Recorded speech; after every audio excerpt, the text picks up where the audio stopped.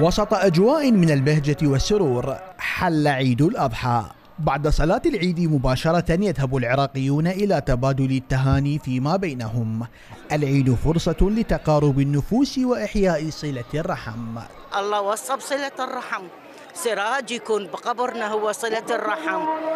ونتمنى من كل الناس إنه يفكروا بهذا الشيء الزعلان ويا أخوه ويا أخته ويا جيرانه يصالح وياهم ويساعدون بعض. هذا العيد عيد الفطر عيد تواصل.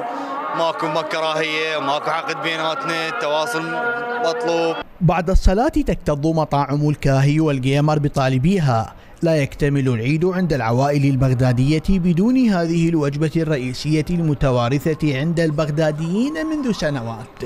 أول يوم العيد نروح نتريق جنب نجيب هاي كاي وجيمر ورا نطلع نروح نبلش قرايب ما قرايب.